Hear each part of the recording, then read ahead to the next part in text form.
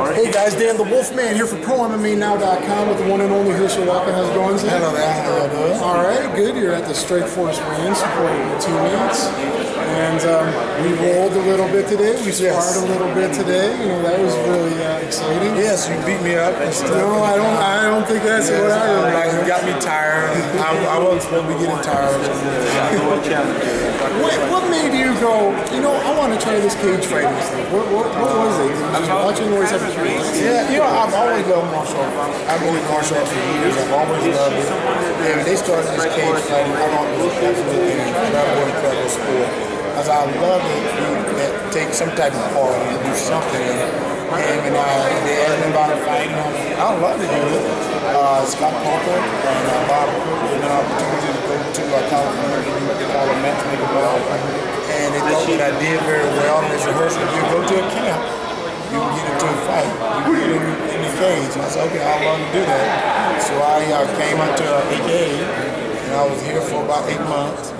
Uh, after eight months, they, they, they, they evaluated me again. They said, well, you ready to fight.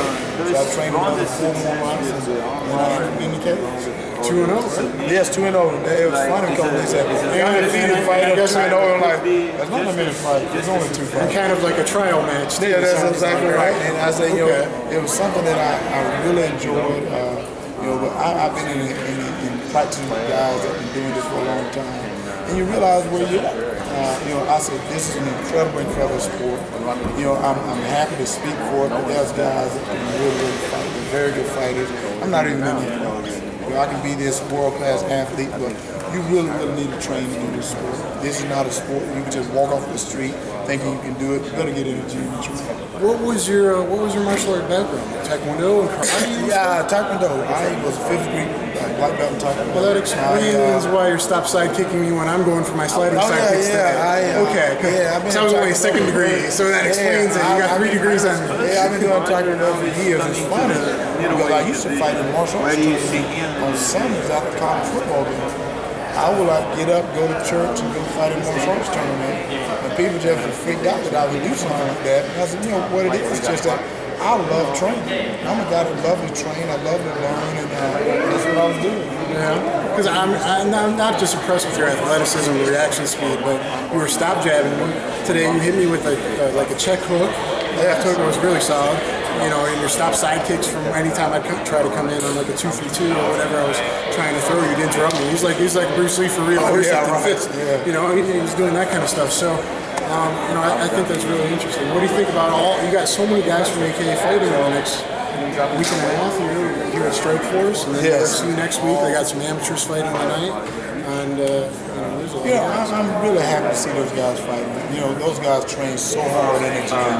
Whenever they can get a fight, I'm so happy for it because, you know, it's tough to get fights. You know, it is very, very hard to get fights because, you know, you don't have a lot of events out there. You have a lot of, like, these side events. But you don't have a lot of events. But whenever you get guys get fights, I, I, I'm, I'm ready for it.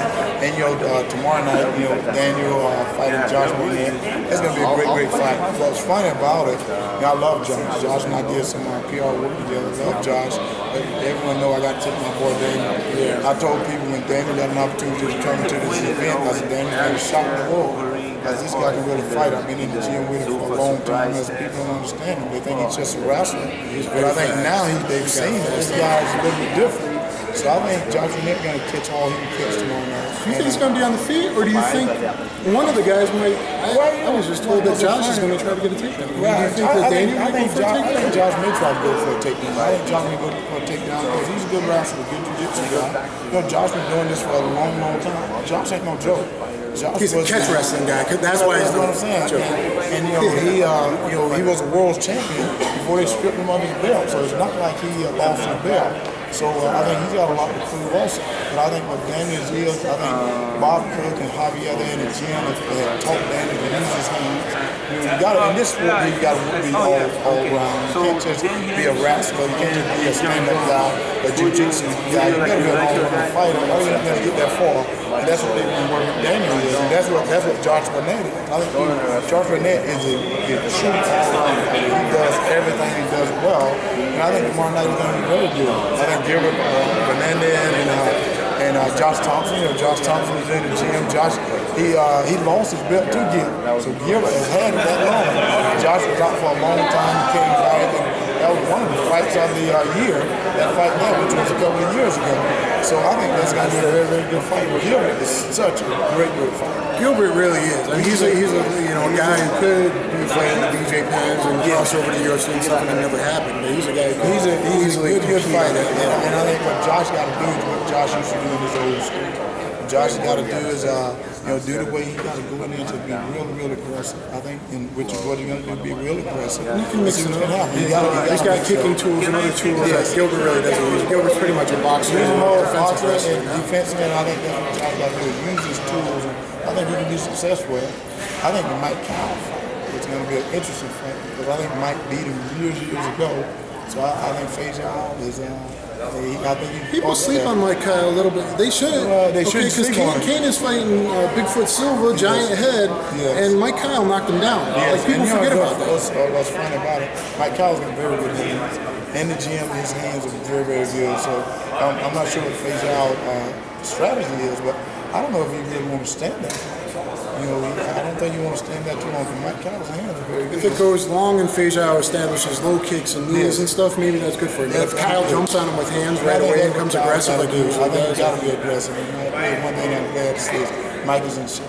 Mike is really in shape. He's looking forward to his fight. He just had a beautiful little girl, so he's like he's like his dad, his proud He could use the win money But, there, Yeah, he and could use then- that'd yeah. But I tell you what, it is going to be a great fight. I think the Strikeforce call is going to be absolutely incredible. Last last question for you is: Is there any advice you could give to you know high school kids, young kids out there that are they're thinking about being a fighter or a football player or going into athletics? You got any advice? You know advice I can give these guys, they got to work. And, and what I mean by that is you got to believe in yourself and you got to be willing to work at what you do. You know, nothing is going to come easy. I think some people think things are easy, but you know, nothing's going to come easy. If you work, continue to believe in yourself, and know that you can do it. I don't care if you believe it, no one else believes it, but you got to continue to have it. I think that says it all. Thank you very much. For your you're welcome time. now. Great Take care to be with you today. Thank you very much.